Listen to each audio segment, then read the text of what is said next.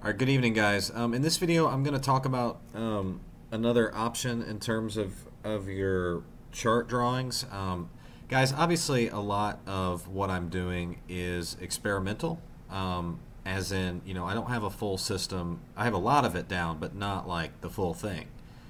And so, uh, with that being said, guys, um, hold on one second. Guys, I want to talk about uh, just trying a crowded chart, so to speak. So one of the things that I have noticed uh, is that if I don't use a lot of drawings on my chart, I kind of downplay the significance of certain things. Like if I don't have a drawing on it, I don't see it as important.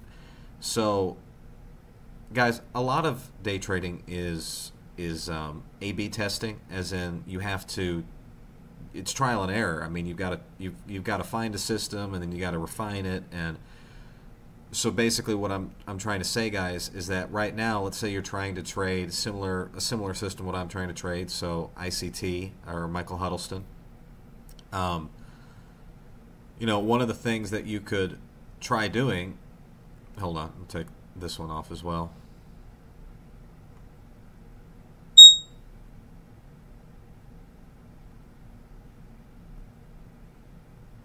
Um,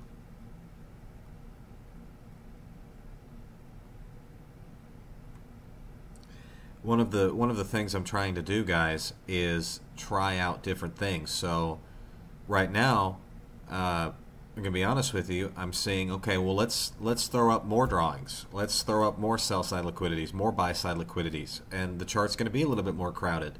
But if that gets my mind cued on what you know what appears to be happening, and where the market is drawing, Let's see if that works. Uh, I'm not saying that this is the way for all of you. I'm not even saying it's the way for me. But I do want to get you in the mindset of trial and error.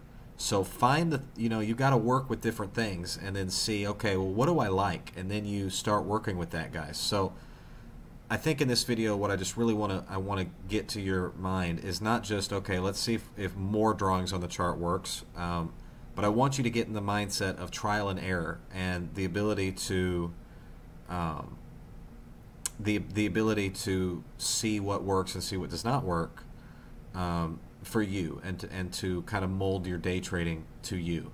Guys, your your day trading is not going to look exactly like Michael's videos. It can look very similar, but it's not going to be exactly the same.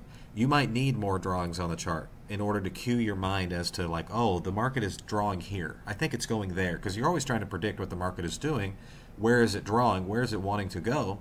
And so if you are trading, you know, if you, if more drawings are going to get you like, oh, it it should at least go there, then maybe maybe you should try it, guys. So uh, in this video, we covered trial and error and potentially trying more or fewer draw, uh, drawing tools on the chart.